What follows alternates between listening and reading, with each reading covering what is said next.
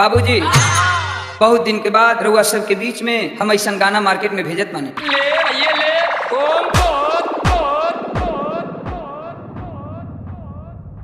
शुरू करी ऐसा शुरू करी कि भूकंप आ जाए